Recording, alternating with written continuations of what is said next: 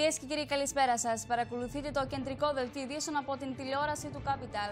Να δούμε μαζί την επικαιρότητα σε τίτλους. Νομικά μέτρα και εργαλεία εξετάζει η κυβέρνηση για τις αποκοπές μισθών του δημοσίου. Σύσκεψη νομική υπηρεσία για την άσκηση έφεσης. Θα ήταν έγκλημα αποδοχή της παρέτησης του Χαρή Γεωργιά, δηλώνει ο πρόεδρος της Δημοκρατίας, στον απόεχο του πορίσματος για τον συνεργατισμό. Νέα κοντραδισία και έλεγε τον διορισμό του Ανδρέα Μαυρογιάννη ως μόνιμο αντιπροσώπου της Κύπρου στα Ηνωμένα Έθνη. Έχασε Κωνσταντινούπολη και Άγγελο Ρετσέπ Ταγιπ Ερντογάν. Στον εκρέμι Μάμογλου η Δημαρχία της Κωνσταντινούπολης μετά και την επανακαταμέτρηση των ψήφων. Η επόμενη μέρα της απόρριψης των εναλλακτικών προτάσεων για το Brexit. Πιθανότερο από ποτέ το άτακτο Brexit λέει η Ευρωπαϊκή Ένωση. Στην Βόρεια Μακεδονία, ο Αλέξη Τσίπρας. Σημαντική μέρα για τα Βαλκάνια, δηλώνει ο Έλληνας Πρωθυπουργός.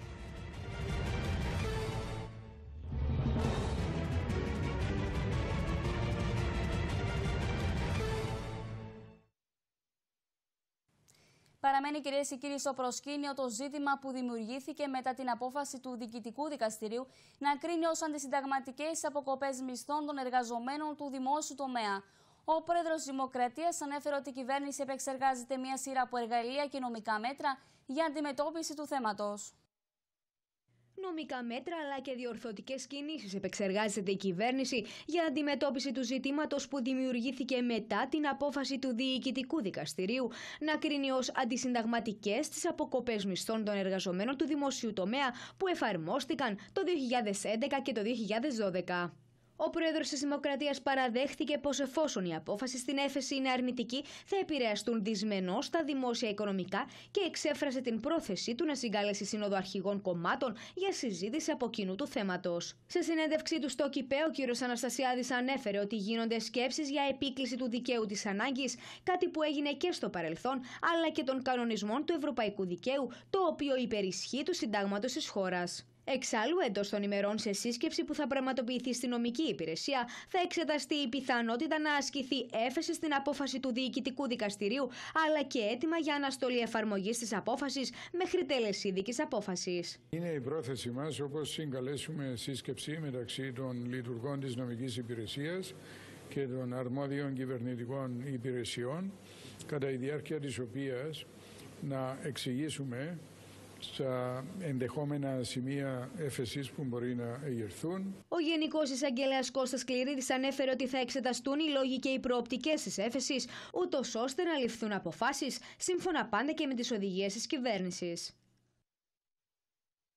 Απόλυτο σεβασμό στην απόφαση του Διοικητικού Δικαστηρίου για τις αποκοπές του μισθών των δημοσίων υπαλλήλων, εξέφρασε ο πρόεδρος του Δησία Βέρο Φινοφίτου, σημειώνοντας ωστόσο ότι δεν πρέπει να αποδυναμώνεται η οικονομία του τόπου. Από την πλευρά του, Γενικός Γραμματέας Κελάντρο Κυπριανού εξέφρασε ικανοποίηση για την απόφαση της κυβέρνησης να ζητήσει συμβουλή από την νομική υπηρεσία για τα επόμενα βήματα. Η αποκατάσταση των μισθών τόσο στο δημόσιο όσο και στον ιδιωτικό τομέα περνά μόνο μέσα από την περαιτέρω ενδυνάμωση της κυπριακής οικονομίας. Αν δεν έχεις έσοδα, δεν μπορείς να πληρώνεις μισθούς, ούτε συντάξεις. Θεωρώ ότι πολύ σωστά η κυβέρνηση έχει ζητήσει από την νομική υπηρεσία να της συμβουλέψει για αυτά τα ζητήματα και αναμένουμε να μας δοθεί μια ολοκληρωμένη εικόνα για να μπορέσουμε και εμείς να διατυπώσουμε θέσεις. Για τον συνεργατισμό μίλησε στο κυπαίο πρόεδρος της Δημοκρατίας Νίκο Αναστασιάδη. Μεταξύ άλλων, δήλωσε ότι θα ήταν έγκλημα υποδοχή της παρέτησης του Χάρη Γεωργιάδη, ενώ είπε πως έχει εισηγεί την συνείδησή του ότι δεν έπραξε κάτι αντίθετο με το περιδικαίου αίσθημα. Θα ήταν έγκλημα αποδοχή της παρέτησης του Υπουργού Οικονομικών Χάρη Γεωργιάδη, δήλωσε σήμερα ο πρόεδρος της Δημοκρατίας Νίκος Αναστασιάδη. Έχω ήσυχη την συνείδησή μου ότι δεν έπραξα κάτι αντίθετο με το περί δικαίου αίσθημα, όχι το δικό μου, αλλά των αντικειμενικών δεδομένων όπως καταγράφονται στην έκθεση του πορίσματος για τον συνεργατισμό, δηλώσει στο Κυπαιονίκο Αναστασιάδη. Μιλώντας στο πλαίσιο συνέντευξης που παραχώρησε ο πρόεδρος της Δημοκρατίας στο ΚΙΠΕ, ανέφερε ότι ήταν θέμα συνείδησης για τον ίδιο, αν και κατά πόσο θα αποφύγει το πολιτικό κόστος, αποδεχόμενος την παρέτηση του Υπουργού Οικονομικών, αλλά με βεβαρημένη τη συνείδηση ότι έχει διαπράξει εν τη ουσία ένα έγκλημα εις βάρος ενός ανθρώπου που διαφωνεί στο ευρώ των ευθυνών που του αποδίδονται με βάση τα ευρήματα ή θα υποστεί το πολιτικό κόστος. Ο πρόεδρος Αναστασιάδη έσπευσε να απολογηθεί λέγοντας ότι γνωρίζει το πολιτικό κόστος και φαίνεται ασυνεπής. Παρ' όλα αυτά, ο πρόεδρος της Δημοκρατίας δηλώνει πως έχει την συνείδηση του καθαρή, καθώς όπως ισχυρίζεται δεν έπραξε κάτι που είναι αντίθετο με το περιδικαίου αίσθημα αλλά των αντικειμενικών δεδομένων όπως καταγράφονται στην έκθεση. Αιτία αντιπαράθεσης κυβέρνησης Δυσί και Ακέλη υπήρξε ο διορισμό του Ελληνοκύπριου διαπραγματευτή Ανδρέα Μαυρογιάννη ως μόνιμο αντιπρόσωπο της Κύπρου στα Ηνωμένα Έθνη. Ο Γενικός Γραμματέας του Ακελάνδρο Κυπριανούς Σιτιλόη του εξέφρασε λύπη για το γεγονός ότι ο διαπραγματευτής της ελληνοκυπριακής πλευράς στις συνομιλίες για το Κυπριακό Ανδρέας Μαυρογιάννης έχει τοποθετηθεί στο πόσο του μόνιμου αντιπροσώπου της Κύπρου στη Νέα Υόρκη. Ο πρόεδρος του Δυσία Βερνοφίτου από την πλευρά του είπε πως θα είναι είδηση μια μέρα του ΑΚΕΛ να μην είναι ισοπεδωτικός στην κριτική του. Θέλω να εκφράσω τη λύπη μου για το γεγονός ότι ο κύριος Μαυρογιάννης έχει τοποθετηθεί ε, στο πόστον του μόνιμου αντιπροσώπου στην ε, Νέα Νιόρκη και να εκφράσω την εντονότατη μου λύπη γιατί ο πρόεδρος της Δημοκρατίας επεδίωξε με δηλώσεις του να ξεγελάσει τον Κυπριακό λαό. Με ποια έννοια το λέω αυτό; Η νομοθεσία την οποία εγκρίναμε το 2013 στη Βουλή των Αντιπροσώπων είναι ξεκάθαρη. Λέει ότι ο διαπραγματευτής δεν μπορεί να ασκεί τα οποιαδήποτε άλλα καθήκοντα ή αρμοδιότητες. Από τη στιγμή λοιπόν που ο κύριος Μαυρογιάννης ασχολείται με την άσκηση άλλων καθηκόντων και αρμοδιοτήτων, δεν μπορεί να παραμένει ως διαπραγματευτής. Και λυπούμε γιατί ο πρόεδρος της Δημοκρατίας παραπληροφορεί τον Κυπριακό λαό. Κάπου έχουν ξεπεραστεί τα όρια Ακούω το ΕΚΕΛ καθημερινά να μας κάνει μαθήματα για την οικονομία. Και θα στείλω το μήνυμα προς τους πολίτες. Αν επιθυμούν να ξαναζήσουν διακυβέρνηση του ΑΚΕΛ και του Χριστόφια, ας ψηφίσουν ΑΚΕΛ. Εάν επιθυμούν χειρισμούς στο Κυπριακό που θεωρούν ότι για όλα αυτά η δική μας πλευρά να στέλνουμε αυτό το μήνυμα έστω και άθελά μας δεν βοηθούμε την εθνική μας υπόθεση. Ξεφράζει μάλιστα λύπη.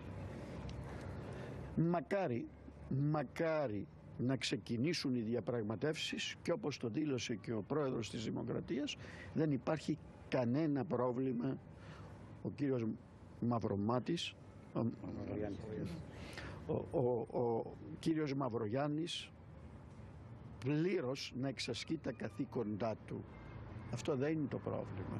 Το πρόβλημα είναι να υπάρξει φωνία στους όρους εντολής και να ευχηθούμε ότι μετά και από το τηλέφωνο που θα έχουν ο πρόεδρος της Δημοκρατίας με την κύρια Λούτ θα έχουμε και την επόμενη επίσκεψή της. Θέλουμε διακαώς να επαναρχίσει ο διάλογος. Μαθήματα είτε για την οικονομία είτε για το Κυπριακό με όλο το σεβασμό δεν δεχόμαστε από το ΑΚΕΛ. Άσχημο τέλος φαίνεται πως είχε για τον Τούρκο πρόεδρο Ρετζέπ Ταγιμπέρντογαν το εκλογικό θλίρερ που εκτιλισόταν στην Κωνσταντινούπολη μεταξύ του πρώην Πρωθυπουργού Μπίναλι Γιλντιρίμ και του Εκρέμι Μάμογλου. Το κυβερνών κόμμα ΑΚΕΠΕ υπέβαλε ένσταση για επανακαταμέτρηση των ψήφων, η οποία ωστόσο αύξησε τις ψήφους του Εκρέμι Μάμογλου ανακηρύσσοντας τον νικητή για την Δημαρχία της Κωνσταντινούπολης. Με ένα μήνυμα πολιτικής αλλαγής στους μεγαλύτερους Δήμους της Τουρκίας ολοκληρώθηκε η διαδικασία των δημοτικών εκλογών. Με βάση τις εκτιμήσεις της Ανώτατης Εκλογικής Επιτροπής, ο Ρετζέπτα Ιπερντοάν και το κόμμα της Δικαιοσύνης και Ανάπτυξης χάνουν τα δύο προπύρια του Τούρκου Προέδρου, την πρωτεύουσα Άγκυρα και την Κωνσταντινούπολη. Πώς διαμορφώνεται η επόμενη μέρα στην Τουρκία μετά τις μεγάλες απώλειες που υπέστη ο Έρντογαν. Ποιος είναι ο 39χρονο Κρέμι Μάμογλου, υποψήφιος του Ρεπουμπλικανικού Λεκού Κόμματος, που νίκησε τον εκλεκτό του Έρντογαν και τέος πρωθυπουργό Μπίνα Λίγιλ στην Κωνσταντινούπολη; Η απάντηση στο ρεπορτάζ που ακολουθεί. Ο Εκρέμ Ιμάμογλου, που με τα ως τώρα δεδομένα θα είναι ο νέος δήμαρχος Κωνσταντινούπολης, είναι ένας σχετικά νέος πολιτικός με όχι πολύ μακρά, αλλά σαφώς ανοδική πορεία στο Ρεπουμπλικανικό Λαϊκό Κόμμα. Μέλος του κόμματος από το 2008, εξελέγη το 2014 δήμαρχος του Δήμου Μπεϊλίκντουζου στην ευρωπαϊκή πλευρά της πόλης και μόλις πέντε χρόνια αργότερα επελέγη ως υποψήφιος για έναν από τους σημαντικότερους μητροπολιτικούς Δήμους της χώρας. Από την πρώτη στιγμή αμφισβήτησε το βασικό σύνθημα του Ταγίπ Ερντογάν που έκανε λόγο για εκλογές επιβίωσης του έθνους. Sorunu e, diye tanımladığınız zaman bu olmaz. Yanlış. Kabul etmiyoruz bunu. E, ama yerel seçim nedir? Yereldeki sorunların çözümü e, oluşmalı. E, biz tamamen bu sürece İstanbul'un yığınla birikmiş sorunlarının e, çözümü nedir ve nasıl yapabiliriz insanlara anlatıyoruz. Γεννημένος στην Τραπεζούντα το 1970, ο Ιμάμογλου καλλιεργεί το προφίλ ενός σύγχρονου πολιτικού με επιτυχημένη επαγγελματική πορεία και έντονη κοινωνική δραστηριότητα. Έκανε πτυχιακές και μεταπτυχιακές σπουδές διοίκησης επιχειρήσεων και διαχείρισης ανθρώπινου δυναμικού στο Πανεπιστήμιο της Κωνσταντινούπολης και εργάστηκε επί σειρά ετών στην κατασκευαστική εταιρεία της οικογένειάς του. Ασχολήθηκε ερασιτεχνικά με το ποδόσφαιρο, ενώ υπήρξε ιδρυτικός τέλεχο της ομάδας μπάσκετ της Τραμπζονσπορ. Παντρεμένος και πατέρας τριών παιδιών, είναι μέλος πολλών οργανώσεων κοινωνικής δράσης και εμφανίζεται ως ένας δυναμικός ηγέτης που φιλοδοξεί να κάνει καλύτερη την καθημερινότητα των πολιτών. Şehri yönetirken de her anını şeffaf bir biçimde yöneteceğimizin de bir göstergesidir. Το Αμερικανικό Πεντάγωνο ανακοίνωσε χθες ότι έχει παγώσει τις προετοιμασίες για την παράδοση των αεροσκαφών F-35 στην Τουρκία μέχρι η Τουρκία να σταματήσει την παραλαβή των αντιπυραυλικών συστημάτων S-400 από την Ρωσία. Παράλληλα, την προειδοποίηση ότι αν τα παραλάβει, τότε θα ρισκάρει την συμμετοχή της στο πρόγραμμα συμπαραγωγής του Αμερικανικού μαχητικού υψηλής τεχνολογίας στην επιβεβαίωση ότι το Πεντάγωνο αναστέλει τις παραδόσεις και τις δραστηριότητες που συνδέονται με την υποστήριξη της επιχειρησιακής ικανότητας της Τουρκίας για τα F-35, προχώρησε εκπρόσωπος του Αμερικανικού Υπουργείου Άμυνας, ο οποίος προειδοποίησε για άλλη μια φορά ότι η Ουάσιγκτον δεν σκοπεύει να υποχωρήσει το επίμαχο θέμα της παραλαβής του ρωσικού συστήματος S-400 από την Τουρκία. Με δεδομένο ότι η Τουρκία είναι μία από τις χώρες που συμμετέχουν στο πρόγραμμα παραγωγής των F-35, ο εκπρόσωπος σημείωσε ότι έχουν γίνει όλα τα απαραίτητα βήματα για να αναπτυχθούν δευτερογενείς πηγές εφοδιασμού. Η συγκεκριμένη κίνηση εκτιμάται ότι αποσκοπεί στο να περιοριστούν οι όποιες συνέπειες από μια ενδεχόμενη απομάκρυνση της Τουρκίας από το συγκεκριμένο πρόγραμμα. Όπως υποστήριξε εκπρόσωπος Ηνωμένες Πολιτείες, βρίσκονται εν αναμονή μιας σαφής απάντησης από την Τουρκία και ο διάλογος για αυτό το σημαντικό θέμα συνεχίζεται. Οι δευτερογενείς πηγές εφοδιασμού για τα τμήματα που παράγονται από την Τουρκία βρίσκονται σε ανάπτυξη. Λυπούμαστε πολύ ανέφερε εκπρόσωπος του Πενταγώνου για την τρέχουσα κατάσταση που αντιμετωπίζει η εταιρική των ΗΠΑ σε σχέση με τα F-35. Το Αμερικανικό Υπουργείο Άμυνας, σύμφωνα με τον εκπρόσωπό του, λαμβάνει συνετά μέτρα για να προστατεύσει τις κοινές επενδύσεις που πραγματοποιούνται στην καθοριστική σημασία τεχνολογία των ΗΠΑ. Στον Brexit για την συνέχεια, τα μέλη της Βουλής των Κοινοτήτων απέρριψαν όλες τις εναλλακτικές στη συμφωνία αποχώρησης, στην οποία διαπραγματεύτηκε η Πρωθυπουργός του Συντηρητικού Κόμματος Τερέζα Μέη με την Ευρωπαϊκή Ένωση, στις λεγόμενες ενδεικτικές ψηφοφορίες, οι οποίες διεξήχθησαν αργά το βράδυ της Δευτέρας. Η πρόταση να επιδιωχθεί μόνιμη τελωνική ένωση του Ηνωμένου Βασιλείου με την Ευρωπαϊκή Ένωση απορρίφθηκε με 276 ψήφους κατά. Από νωρίς άρχισαν να φτάνουν τα μέλη του Υπουργικού Συμβουλίου στον αριθμό 10 της Downing Street, μία ημέρα μετά την νέα καταψήφιση από το Κοινοβούλιο και των τεσσάρων τελευταίων εναλλακτικών προτάσεων για το Brexit. Αν και η συμφωνία της Τερέζα Μέη έχει απορριφθεί τρεις φορές, η ίδια αναμένεται μέσα στην εβδομάδα να προσπαθήσει να την θέσει για τέταρτη φορά σε ψηφοφορία. Νομίζω ότι αυτό που όλοι πρέπει να αναγνωρίσουμε είναι ότι η συμφωνία της Πρωθυπουργού είναι η καλύτερη που υπάρχει στο τραπέζι. Ξέρετε, το πρόβλημα με όλες τις άλλες επιλογές που απορρίψαμε χθες βράδυ είναι ότι καμία από αυτές δεν ήταν καλή για το Ηνωμένο Βασίλειο.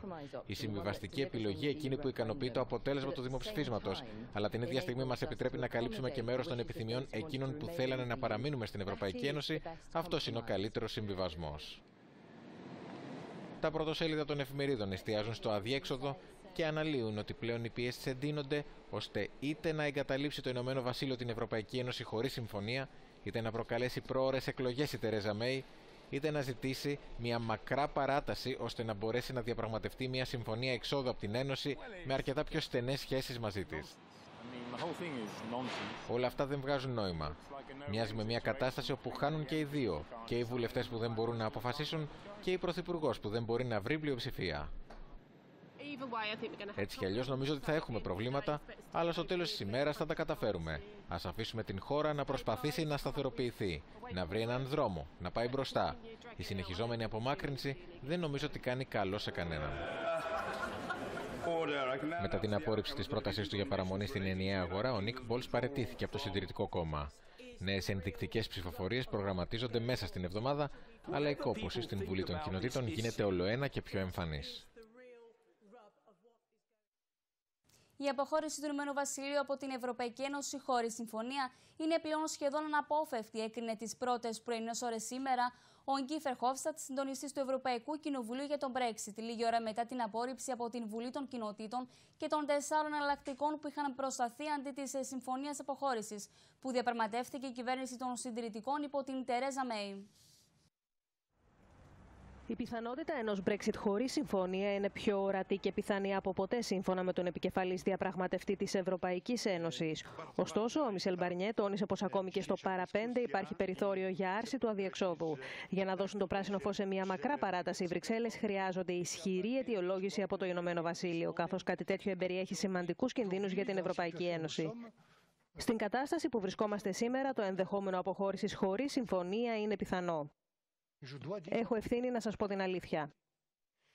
Πρέπει να προετοιμαστούμε και προετοιμαζόμαστε εδώ και μήνες. Το Brexit έχει μονοπολίσει την ευρωπαϊκή ατζέντα τους τελευταίους μήνες και έχουμε καταναλώσει πολλή ενέργεια και πολύ χρόνο. Νομίζω ότι πρέπει να αφιερώσουμε αυτή την ενέργεια και αυτό το χρόνο σε μια θετική ατζέντα.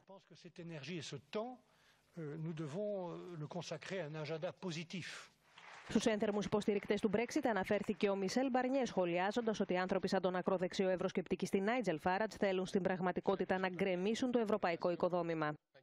Αυτοί οι άνθρωποι θέλουν να καταστρέψουν την Ευρωπαϊκή Ένωση εκ των έσω, αλλά και εξωτερικά. Γι' αυτό και θεωρώ ότι πρέπει να φροντίσουμε την Ευρωπαϊκή Ένωση, ακόμη και αν χρειαστεί να τη μεταρρυθμίσουμε.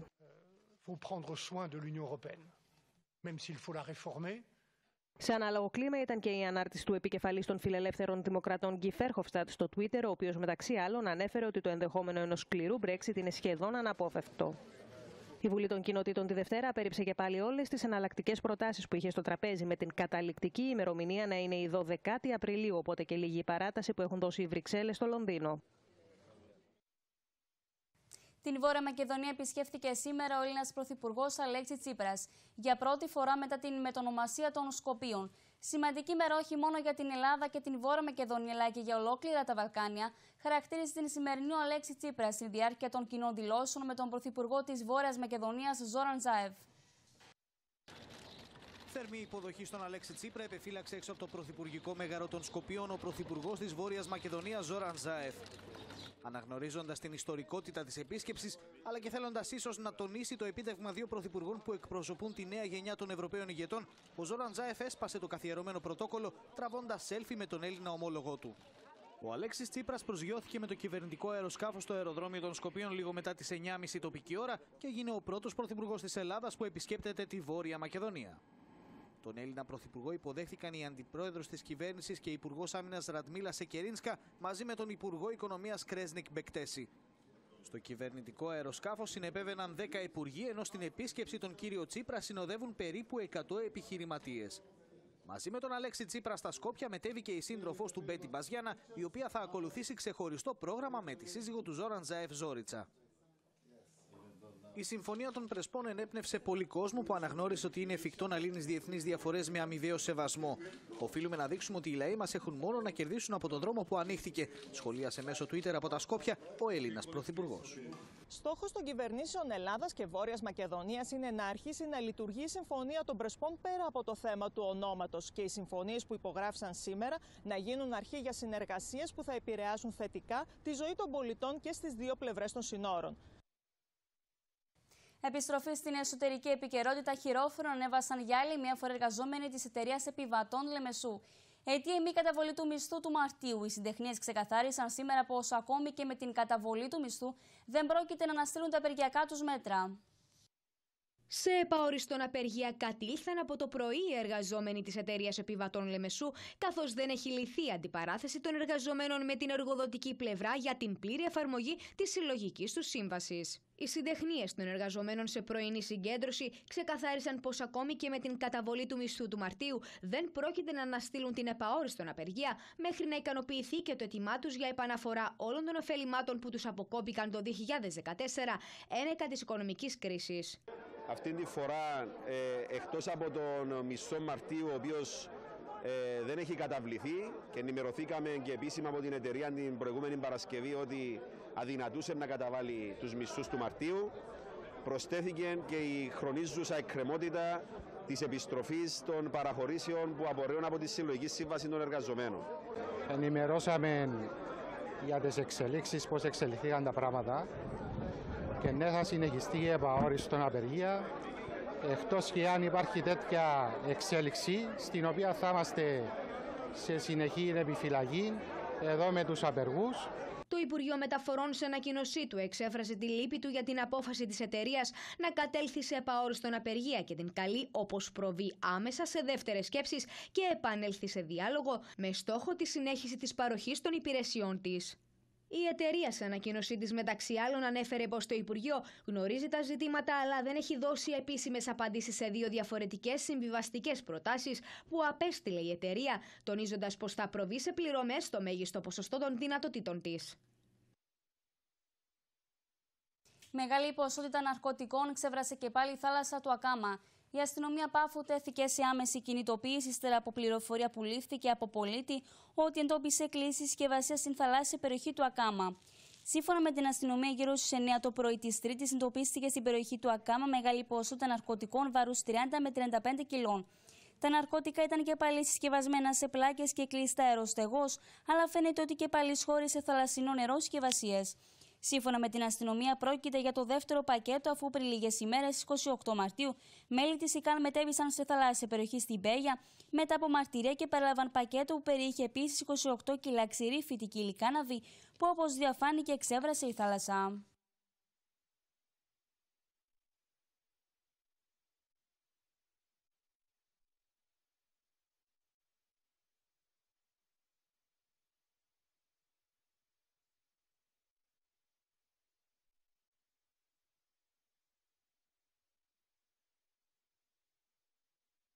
Στην σύλληψη ενός 43χρονου προχώρησε η αστυνομία στη Λάρνακα. Στην κατοχή του οποίου εντοπίστηκε 314 γραμμάρια κοκαίνης και χρηματικό ποσό ύψους 117.000 ευρώ.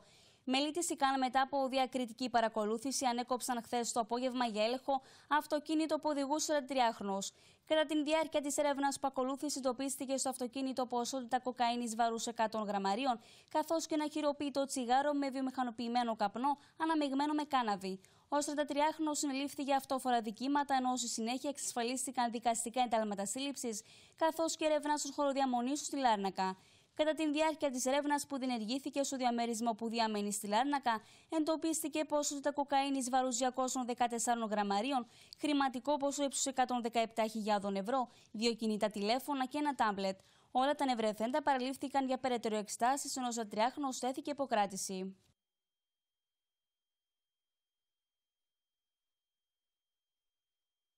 Τα βαθιά της συλληπιτήρια στην οικογένεια της Εύης Παπαδοπούλου, η οποία πεβίωσε την περασμένη Παρασκευή μετά την πολύχρονη μάχη της με τον καρκίνο, εκφράζει η εταιρεία Kean Soft Drinks Limited, της οποίας η Εύη Παπαδοπούλου ήταν μέλος του Διοικητικού Συμβουλίου. Η κηδεία της θα τελεστεί αύριο στη Λεμεσό. Η διεύθυνση και το προσωπικό της ραδιοτηλεόρασης του Capital εκφράζουν τα θερμά τους συλληπιτήρια στην οικογένεια.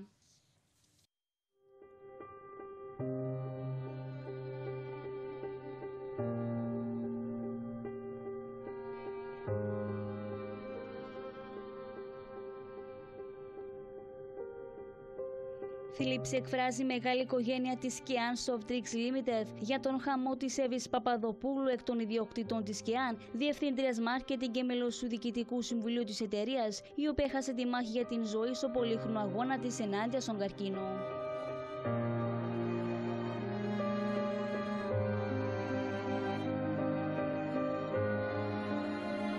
Η η Αβή Παπαδοπούλου μετά τις σπουδές στην Αγγλία στον χώρο των τεχνών, της τεχνολογίας και των οικονομικών επέστρεψε στην Κύπρο που από το 1976 εργαζόταν στην οικογενειακών συμφερόντων εταιρεία Cans of Drinks Limited στη Λεμεσό. Η κυρία Παπαδοπούλου ήταν επίσης πρόεδρος και ιδρυτικό μέλος της Europantona Κύπρου, αλλά και αντιπρόεδρος της Europantona The European Breast Cancer Coalition με βάση το Μιλάνο και μέλος του Συμβουλίου.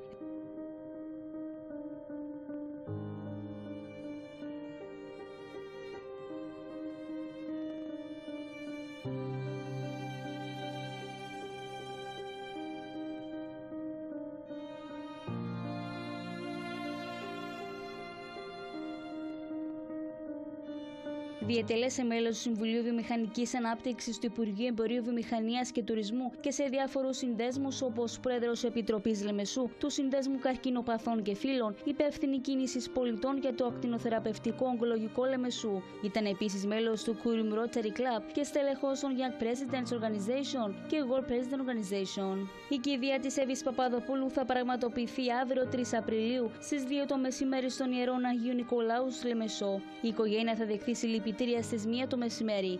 Αντί για στεφάνια θα γίνονται εισφορές στην Europa Αντώνα Κύπρου, στον Παγκύπριο Σύνδεσμο Καρκίνοπαθών και Φίλων και στο Ίδρυμα Πάνω σε Ευρυπίδου για τα παιδιά. Είμαστε μια τοπική μεν οργάνωση, αλλά ανήκουμε στην ευρύτερη ευρωπαϊκή οργάνωση, η οποία ρυθμεί 47 μέλη, ε, χώρες μέλη. Ε, και αυτήν τη χρονιά τυχαίνει να είμαι και πρόεδρος της Ευρωπαϊκής Οργάνωσης, όπως και της ε, τοπικής μας οργάνωσης. Η Europa έχει 10 στόχους, εκ των οποίων η πιο βασική είναι η ενημέρωση, η εκπαίδευση των γυναικών για την πρόληψη.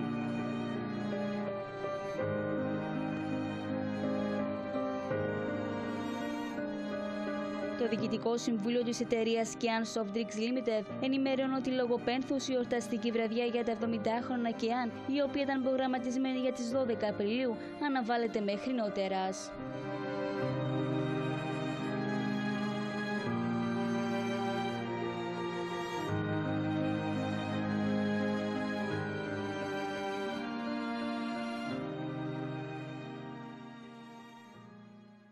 Θλίψη και συγκίνηση προκάλεσε στον δημοσιογραφικό κόσμο η ξαφνική απώλεια του Έλληνα δημοσιογράφου Βασίλη Λιτζή, ο οποίος έχασε τη μάχη με τον καρκίνο στο 62 του χρονιά. Τελευταία, με δυσκολία βγαίνουν οι λέξεις για φίλους και συναδέλφους, τους οποίους αποχαιρετάμε με θλίψη και πόνο ψυχής. Τα ξημερώματα είδηση του θανάτου αφορούσε στο Βασίλη Λιριτζή. Στα 62 του πάλεψε, αλλά όπως τόσοι και τόσοι, έτσι και ο Βασίλης δεν άντεξε. Χτυπήθηκε από την παλιοαρρώστια βυθίζοντας την πίκρα και το πένθος, οικογένεια, φίλους και συναδέλφους. Συντρόφισε και σύντροφοι, καλησπέρα σας. Όπα. Σε λεπτό, μην αρχίζουμε με κακά προηγούμενα. Όχι συντρόφισε και σύντροφοι. Ναι. Κυρίες και κύριοι. Ξανά από την αρχή. Συντρόφισε και σύντροφοι, κυρίες και κύριοι, αγαπητοί τηλεθεατές και τηλεθεάτριες, καλησπέρα σας. Τον χαρακτήριζε το ήθος με το οποίο υπηρέτησε τη δημοσιογραφία. Ανατρεπτικός, καυστικός, επικριτικός, αναζητούσε την είδηση φιλτράροντας και παρουσιάζοντας τα γεγονότα με το δικό του μοναδικό όσο και χαρακτηριστικό τρόπο. Οι σπουδές του στη φιλοσοφία και τη φιλολογία σε Θεσσαλονίκη και Ιταλία του έδωσαν ένα επιπλέον δημοσιογραφικό όπλο για να αφήσει ένα μοναδικό αποτύπωμα συνολικά και ειδικά σε όλα τα μέσα μαζικής ενημέρωσης που εργάστηκε στο γραπτό και στον ηλεκτρονικό τύπο. Ναι, αλλά και το θηρίο έχει στο εσωτερικό του και κάποιους άλλους. Το θηρίο εννοούμε οι ΗΠΑ. Έχει στο εσωτερικό του και κάποιους άλλους που μας κοιτάνε και δεν τους αρέσουμε, εμάς τους Ευρωπαίους. Σου λέει, είσαστε Αμερικανοί, εσείς είμαστε Ευρωπαίοι εμείς. Βαθιά πολιτικοποιημένος, με σημαντική δράση στην εκόνριγα φεραίω του Κομμουνιστικού Κόμματος Εσωτερικού. Το σύνολο του πολιτικού κόσμου αποχαιρετά το φίλο και συνάδελφο Βασίλη Λιριτζή. Ο Βασίλης Λιριτζή υπηρέτησε το δημοσιογραφικό λειτουργήμα με αρχές και ευσυνειδησία. Για πολλά χρόνια η φωνή του ήταν η πρωινή μας συντροφιά, Όσοι είχαν την τύχη να τον γνωρίσουν ξεχώρισαν το ήθος και την ανιδιοτέλεια που τον διέκριναν. Συλληπιτήρια στην οικογένεια και τους οικείους του.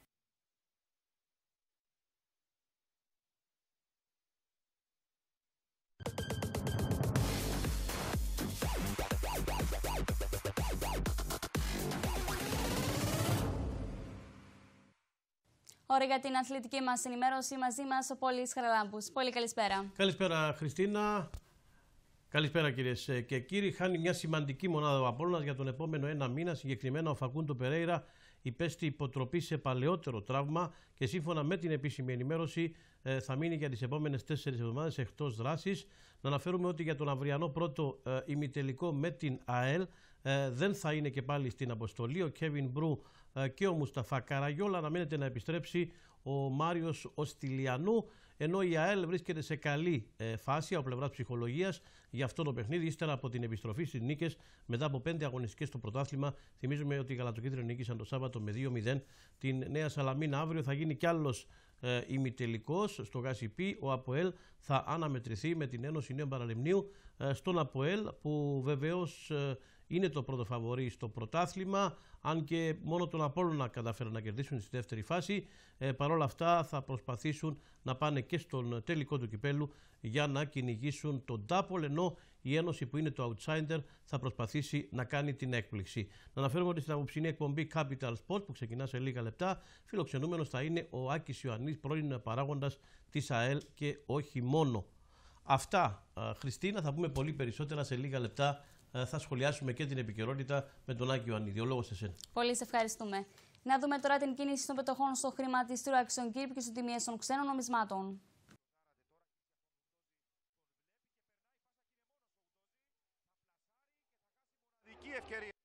Το χρηματιστηριακό δελτίο είναι μία προσφορά της Total Care. Η σκόνη που σέβεται το περιβάλλον και την οικοκυρά. Total Care. We Care.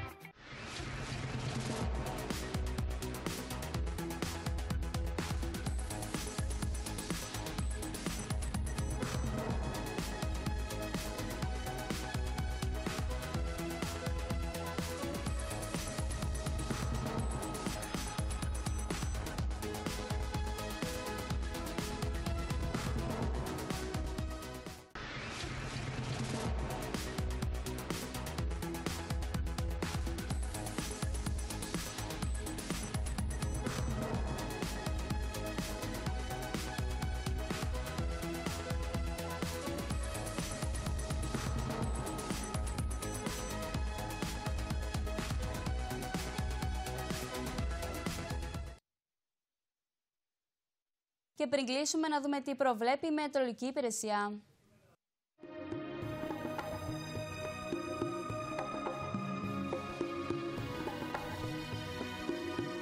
Απόψε ο καιρό θα καταστήσει περισσότερες περιοχές, κυρίως έθερο, αλλά στα παράλληλα, κυρίως στα δυτικά και τα βόρεια, θα παρατηρούνται αυξημένες νεφώσει που αναμένεται να δώσουν μεμονωμένε βροχές ή καταιγίδα. Η θερμοκρασία θα πέσει γύρω στους 7 βαθμούς στο εσωτερικό, γύρω στους 10 στα παράλληλα και γύρω στους 2 βαθμούς σε ψηλότερο ορεινό, όπου τοπικά πιθανόν να σχηματιστεί παγετός. Αύριο καιρό είναι αρχικά κυρίως έθερο με τοπικά αυξημένες νεφώσει στα παράλληλα, που πιθανόν να δώσουν μεμονωμένε βροχές ή καταιγίδα στα δυτικά. Σταδιακά όμως αναπτύχθουν νεφώσει που το μεσημέρι μεσημέρι και το απόγευμα αναμένεται να δώσουν τοπικές βροχές και μονομένε καταιγίδες, κυρίως στο εσωτερικό, το ορεινά και τα ανατολικά παράλια. Σε καταιγίδα πιθανό να πέσει καλάζι. Η θερμοκρασία θα ανέλθει γύρω στους 20 βαθμούς στο εσωτερικό, τα νότια και τα ανατολικά παράλια, γύρω στους 19 στα υπόλοιπα παράλια και γύρω στους 9 βαθμούς σε ψηλότερα ορεινά.